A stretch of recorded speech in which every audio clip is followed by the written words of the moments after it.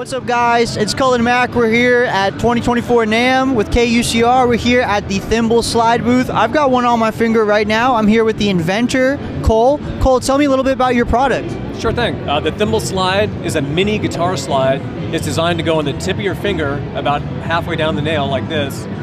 And when you wear it there, you can still bend your finger, but the most important thing is that it's allowing your fingertip through so you can still press the guitar strings and that way you can still play the guitar like normal. You can slide anytime you want, and then go right back to playing like normal.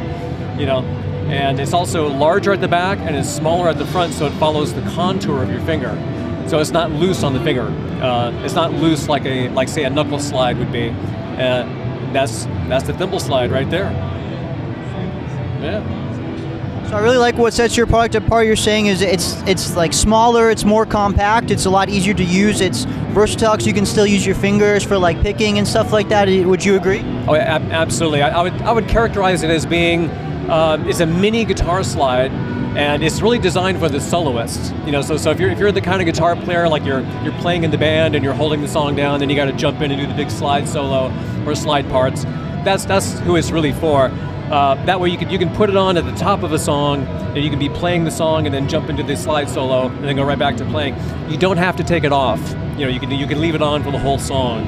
Um, and it also comes in four sizes: small, medium, large, and extra large. But the, the gap you see on the top allows me to custom fit people. So like if you see me at a show, I can actually custom fit. I can I can make this a little bit tighter, or I can push it push it apart to make it a little bit uh, looser feeling. And if you have one at home, you can also do it yourself. Do it yourself at home. You just, you just need to get the tools. You know, you just, just take a channel locks, you know, wrap it up in tape, and that way you can actually size adjust it, you know, crush it a little bit, and that way you can make it tighter. Or if you need to make it looser, you can get a flathead screwdriver, wrap it around in some tape, put it into the middle of the gap and give it a turn to make it bigger. And that way you, you can really dial in the size, you know, for a perfect fit. Now, do you customize these as well, or do they just come just like this?